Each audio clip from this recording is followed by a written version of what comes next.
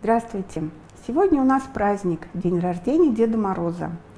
И мы должны создать себе праздничное настроение. Для этого нам нужно украсить свой дом. Сделать это можно по-разному. И я предлагаю вам один из способов выращивания кристаллов соли. Как это сделать? Сразу хочу сказать, что способов существует несколько разных. И рецепты есть разные. Если вы в интернете наберете вырастить кристаллы соли, вам сразу появится много разных рецептов. Мы попробовали несколько, и я сейчас вам скажу, какой лучше попробовать. Единственное, что я предлагаю вам сделать не просто кристаллы соли на ниточке или на веревочке, как многие делают в школе, эксперименты ставить, а попробовать вырастить кристаллы на растениях. Сразу хочу сказать, что лучше всего садятся кристаллы соли на сухие растения, а не на живые. Но если вы хотите попробовать, вы можете экспериментировать. Единственное, что нужно помнить, что для того, чтобы кристалл начал расти, ему нужно, ну, как бы мы это так сказали, за что-то зацепиться. Поэтому чем более шершавые будут растения, чем менее гладкие – тем лучше для нашего эксперимента. Поэтому, если у вас есть какие-то гладкие веточки, вы можете просто шкуркой пройтись по этим веточкам, чтобы создать такую шершавую поверхность. Я попробовала несколько рецептов разных. Сейчас скажу, какой мне больше всего понравился. И мы несколько растений попробовали вот, зарядить для того, чтобы вырастить кристаллы. У нас получилось несколько вариантов я вам сейчас покажу все наши результаты. И вы сами сможете выбрать, что вам больше всего понравится. А я скажу, что нравится мне больше всего. Мне больше всего нравится вот такой результат. Вот у меня получились такие красивые кристаллы, которые выросли на этих веточках. Что за растение у меня было, сейчас могу сказать. Это была лаванда. И вот на лаванде мне кристаллы понравились больше всего. Кстати, они выросли быстрее всего и проще всего. Что мне не понравилось или что мы неправильно сделали? Вот эти вот растения, видите, на них сел очень сильно кристалл. Я вам сейчас скажу почему. Потому что надо раньше вынимать мы просто забыли вынуть эти кристаллы, и они очень долго находились в растворе соли, и поэтому у нас еще и вся баночка тоже была в кристаллах соли. Вот этот вот почему-то у нас на нем кристаллы выросли очень плохо. Ну, кстати, вот этот тоже вариант получился ничего.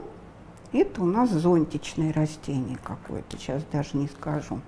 Вот между прочим, неплохо выросли кристаллы на тимьяне. Тимьян у нас был свежий, мы его высушили. И вот на сушеных веточках тимьяна тоже хорошо выросли кристаллы соли. Тоже нужно сделать, чтобы вырастить кристаллы соли. Первое. Готовим растения. Мы уже заранее подготовили вот такой вот, ой, зацепился, вот такой пучочек. Его нужно обязательно связать. И вот эти вот концы Сейчас поймете, почему здесь еще и у нас а, скотч такой бумажный. Дальше вы готовите раствор соли. Значит, самое сложное это приготовить насыщенный раствор соли. Мы, конечно, заранее все приготовили, вы это будете делать самостоятельно.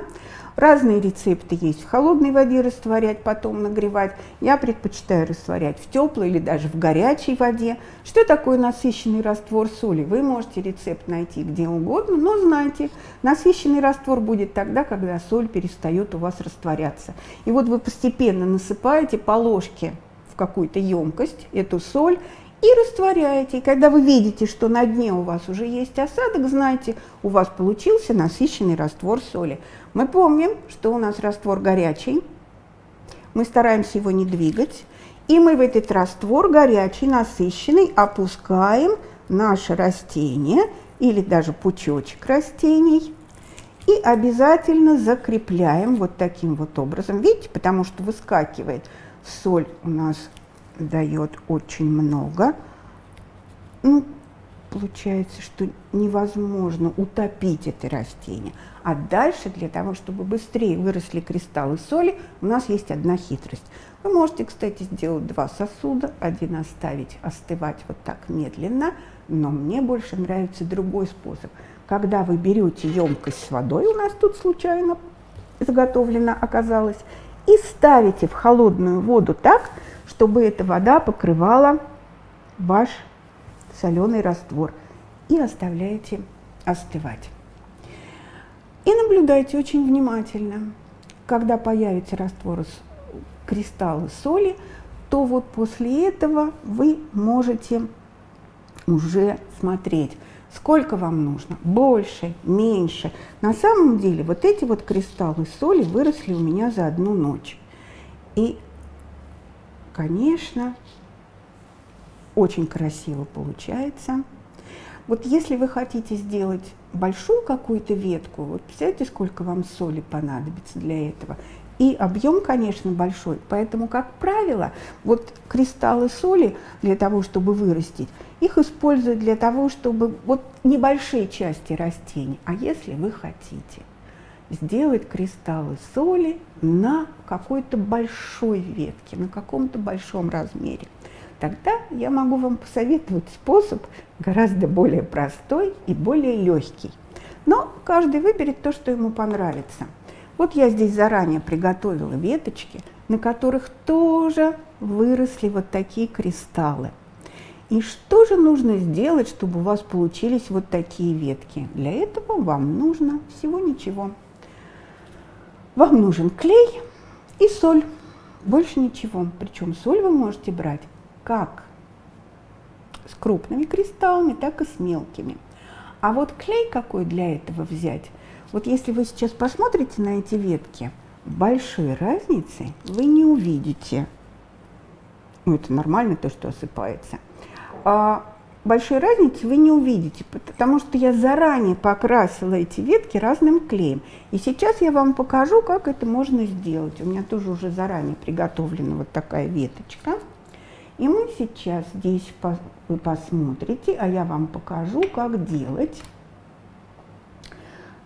а смотрите, вам может понадобиться кисточка, а может и не понадобиться. Но мы сейчас попробуем. Это у нас клей ПВА. И мы одну веточку намажем клеем ПВА. Что-то у нас не получается. Раз не получается, мы попробуем кисточкой. Все очень просто. Клей ПВА.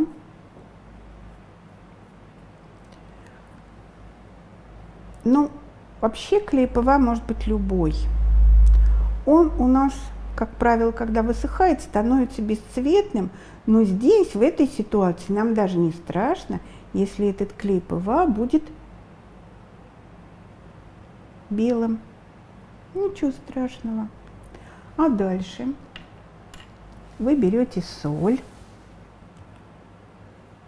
и просто посыпаете ваш клей вот этой вот солью. Советую вам очень сильно не насыпать, потому что мы же с вами делаем имитацию настоящей веточки. Помните только, что надо смазать эту веточку со всех сторон.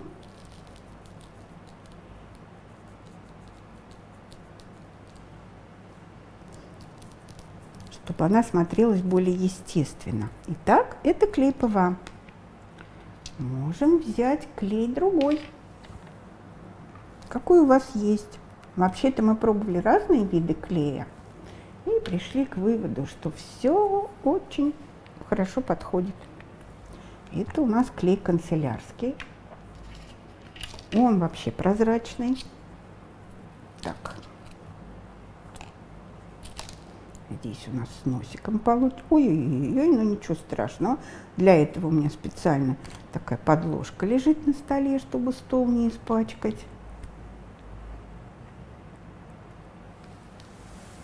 Так. И продолжаем насыпать. Вообще, если у вас есть разные виды клея, вы можете даже сделать по-разному. А можете взять не соль, а сахар. У сахара кристаллы покрупнее.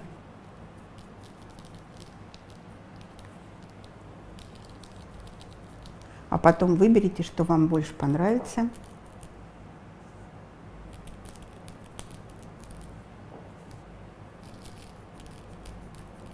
И вот таким образом у вас получится замечательная совершенно ветка, когда она высохнет, она тоже будет как будто засыпана инеем. В принципе, сымитировать снег может, а вот не все. Вот мука, например, нам не поможет, потому что у муки очень мелкие частицы, а снег у нас состоит из маленьких снежинок, и это как кристаллы, поэтому здесь, конечно, нужен особый такой вид все-таки кристаллических предметов, чтобы они у нас хорошо приклеились. Вы можете выбрать, какой клей вам больше понравится. Честно говоря, даже вот мне больше понравился клей канцелярский. Но есть еще один способ, как вот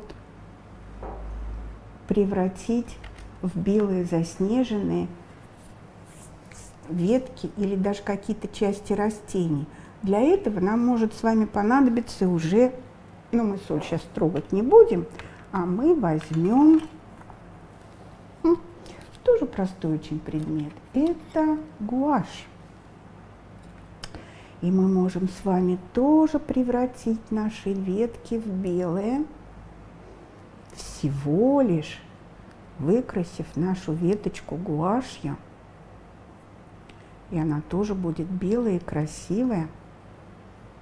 Кстати, на гуашь тоже можно насыпать кристаллы, если они у вас, вам хочется как-то это улучшить ваши объекты. А можно даже, вот я приготовила шишку, мы с вами можем покрасить шишку сделать ее тоже такой более новогодней. Пока у нас снега нет, погода такая осенняя, мрачная. Смотрите, у нас шишка с вами. И шишка не покрашенная. Разница есть. Мне такая шишка нравится больше, но для украшения, конечно. Итак, вы можете вот так легко, довольно попробовать украсить свой дом к Новому году.